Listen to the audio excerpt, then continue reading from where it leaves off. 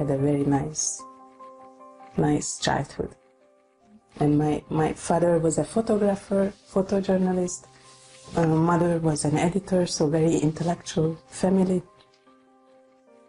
Not religious at all. Um, Jewish, but not religious. I went to law school. Welcome to Happiness and the City. This is Barbara, and today we'll focus on the concept of branding, brand, B R A N D. We have been talking a lot um, in the media about laws and justice, but uh, laws without a sense of order can create disorder. And one of the problems today is that um, people use the word law or regulations or laws to assert a sense of justice. But often the outcome is total chaos, destruction, and um, malfunction of harmony in society. And we see today this is happening in um, the realm of uh, accusations for all kinds of mis, uh, uh, misbehaviors in workplace and other situations. And the outcome is not order but chaos. So those laws and those accusations are not uh, applied in the right way and are applied in a certain um, chaotic manner that creates a lot of more um, injustice and destruction and um, ruin. So I wanted to counter this by focusing our attention on some sense of words that order life around us. And one of the great concepts is the concept of brand. This concept has very interesting history because uh, originally it was used to put a sign on property, uh, whether, uh, whether it was um, um, real estate or um, herds, and uh, the focus and the meaning was to shield it from theft. Um, the uh, numbering on houses, on streets is widely used as an ordering system. And then we also used to have branding on animals um, especially cows in the ancient world, um, sheep. And eventually, that um, practice of uh, putting a sign that identifies and differentiates a property from other properties uh, became very popular because it was an easy way to discover someone's uh, loss in case um, it was stolen or to assert and affirm and confirm authority of a property. Because it would signal that the other um, um, person who wants to put a claim on that property doesn't have any rights to it the uh, wonderful free encyclopedia Wikipedia um, defines it, this concept of brand as a brand is a name, term, design, symbol, or other feature that distinguishes an organization or product from its rivals in the eyes of the customer. Brands are used in business, marketing, and advertising. So you see the ordering system here, and I encourage you to read the whole article in Wikipedia that develops this idea, um, my purpose is to use this concept and then apply to some of the um, situations that is uh, right now creating a lot of uh, chaos in the world. So as you see, the word brand can apply to name, to term, to design, symbol, or other feature that distinguishes an organization or product from its rivals in the eyes of the customer. Now, this is a business concept, but it applies also to names, and countries have names, like the United States of America, Russia, Germany. So, the concept of brand and the concept of the country helps us to distinguish one country from another country. And um, the reason the names of countries developed is precisely to create a sense of ownership and property, um, identification for people who belong to a certain country and um, to businesses that are connected with that country. Then um, other countries know they own rights and um, would not um, interfere with a brand of one country unless there is a war. Today, there is a very strange situation in which people have a lot of focus on the concept of brand in businesses, but totally ignore the concept of brand within names of particular countries. And as a result, we have warlike situation. There are some actual wars happening, um, especially in the Middle East, or there are threats of wars. And the most dangerous, of course, right now is conflict between uh, United States of America and North Korea that involves two nuclear powers. So how can we bring to order this very strange situation of namelessness in the context of application of brand to the names of countries. Because with businesses, we have no problem. We understand that if um, we deal with Apple or Google or Amazon or Facebook, that those are brain brands with um, specific logos, designed by very famous, wonderful designers.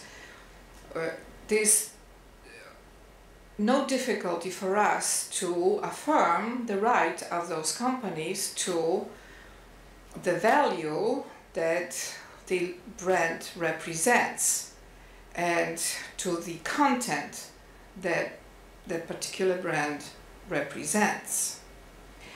Now, most countries in the world developed over centuries from certain tribes and tribes are always connected to houses of families that created those tribes.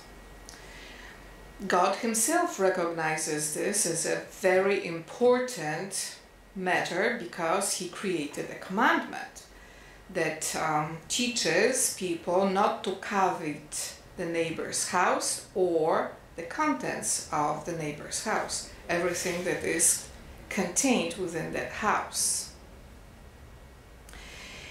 We learned to identify houses in two ways by family name. Uh, we have house of Romanov, House of Grabowski, House of Noll, House of um, Forbes, etc., etc. There are many, many, many um, names that are associated with houses and people who were born to families of those houses have birthright to use the family name in connection to the house in which they were created. So if somebody is born to a certain family and another family from another country and another tribe comes in wants and wants to claim it, right there there is um, a violation of the commandment about house ownership and ownership of things and also violation of birthright of people who have right to a particular house and contents of the house. I come from a very ancient um, family and I come from a very ancient country, Poland. Uh, I immigrated to America and by extension I understand the history of American houses because I grew up with tremendous respect to what is in my house, my family house, and what is in family houses of my friends and neighbors. For me, it's a natural, normal thing to affirm. And when I came to America, I continued doing this. But today, America has been going through torment of virtually um, of, of uh, certain very strange elimination effort of family houses. But America has family houses. Um, they developed over many centuries within the context of the United States, but also they are connected to the family houses of people who came here and continued family houses. In my case, there are many people from Europe uh, who come from very good homes, very good houses in Europe, and they continued those um, um, traditions and birthright from the houses in the United States of America. And this has value. It is a sort of brand value that has to be affirmed because it shields ownership of value that comes from houses from rivals. In um, case of the United States, there are rivals in other continents. Um, and this has to be understood and affirmed. That's just the way it is. And we have to understand that that kind of value affirmation creates peace because it creates recognition for children to know the difference between what is their own birthright and what is birthright of other people in their neighborhood, in their cities, in, you know, in the countries that they learn about. It creates order in the world.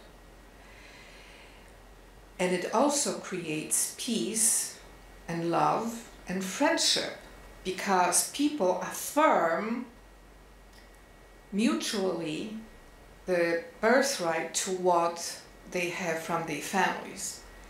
It is an absolute foundation of peace because if a person is deprived of the house, both within the context of family birthright and physical house, in uh, many cases those two are connected.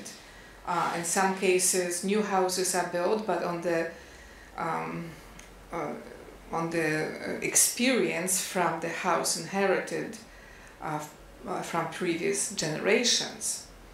So all countries on earth have a concept of inheritance. For instance, um, my parents left inheritance. I have a right to it, and my brother, not somebody else's um, child. And it is like this all over the world. It creates a sense of order. The same with um, contents of the house. Some people come from houses that have huge experience with construction. Other people uh, have a huge experience with farming. Somebody else with education and politics.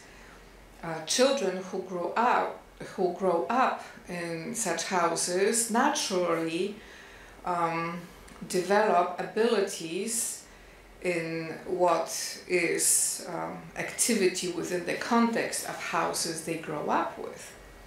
A good and orderly government would affirm this and nurture and nourish it because this not only creates peace within life of that person, within family members, but also creates peaceful connection to neighbors and then develops uh, opportunities to have good lasting friendships. And also that eliminates the conflicts, which means that would eliminate the number of uh, wars and enemies. When you look today at what is happening in the speech of governments all over the world, virtually nobody talks about it. People are so focused on budgets and on um, all kinds of goods that should be created for distribution that they forgot that the problem is because of lack of attention paid to family houses and to birthrights.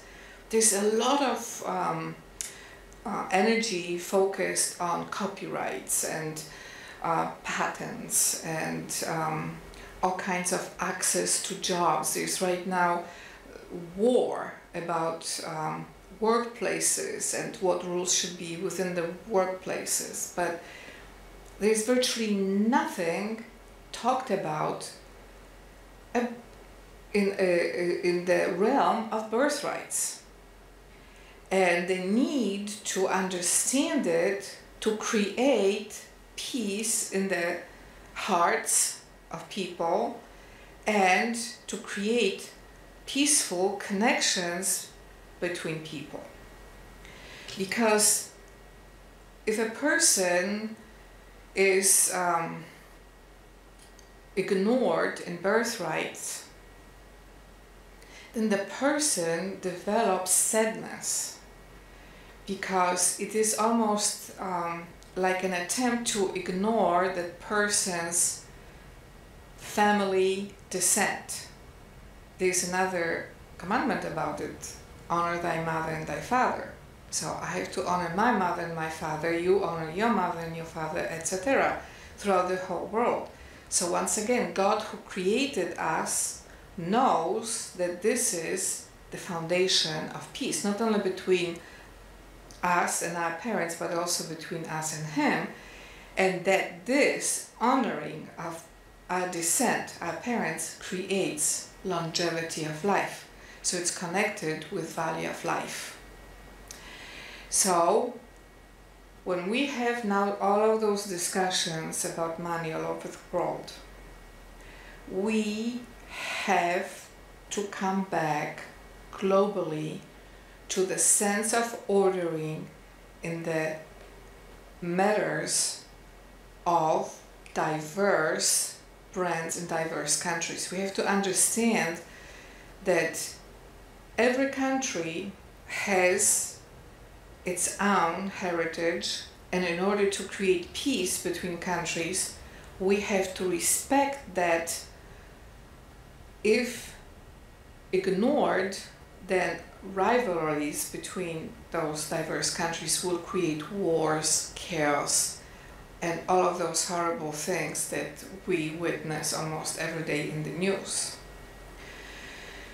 So the governing principles that inform governments about the direction of action cannot ignore matters of life.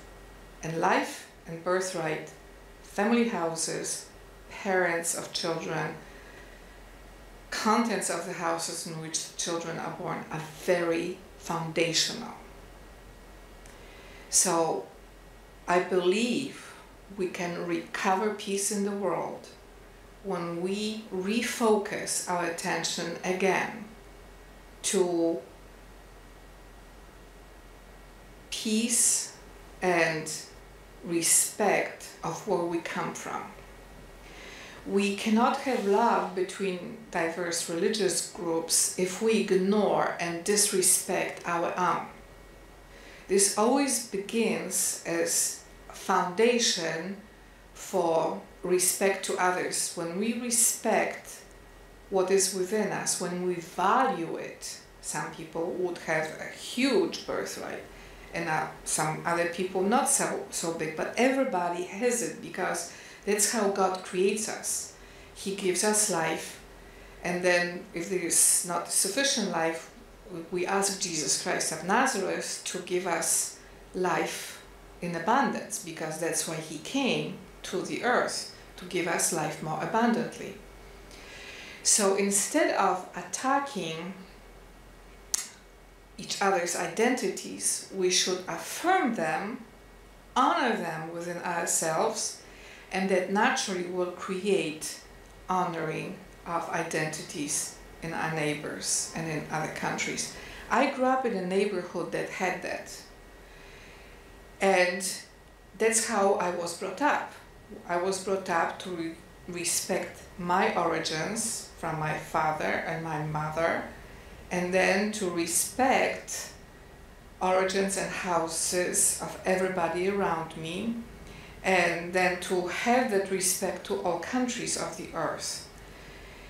But that foundation came with me being affirmed about my own house and what the contents of that house are and how to develop and improve on, on it. That was my primary focus. Our focus when we were brought up was not on what other kids have. Our focus was, was on what we have and how to develop it, what talents we have and how to develop those talents. Like I wasn't very good in drawing, so I didn't bother to go that direction. My brother was excellent in drawing. He ended up graduating from Academy of Fine Arts. I didn't look at what he had, but what I had. And I have this love of communicating with other people. So I developed that. And I think that in order to restore the peace in the world, we have to rethink the system of what we consider justice. That we have to include birthright and houses that we inherit as very important parts of justice because justice disconnected from this created so much hatred, created so much enmity and um, conflict that now some people even demand that other people love them. Love should come naturally from the well ordered way in which we affirm love that comes from our parents who created us. We all are created in love, and God loves us. And love is a natural expression of joy of life. So, I encourage us to look at the concept of brand not only as concept applicable to businesses but also to nations and countries and to strengthen the value that is within every nation and within every family house on earth within all of us that will focus on what we have and how to improve on it and develop it, and also how to enjoy life. Because life is to be enjoyed. It shouldn't be constantly aggrieved, whether somebody grieves us on us or we do it to other people. Living in this constant conflict, accusations, prosecutors um, destroying um, workplaces, it is a terrible context for enjoyment of life and it will not bring in beauty and happiness and um, affirmation of neighborly agape love. It will only create more stress and more um, enmity. So let's refocus again on what every individual on earth has, which is family home. Let's focus on this, strengthen it, respect the um, origins of our parents, and then build within ourselves what is beautiful inheritance from our parents and from our God. And then from this point, we'll create ordering relationship between ourselves and other people. And then we can rejoice in what we all have. And when we rejoice at what we all have, we become strong. When we envy what other people have, that creates weakness and violence and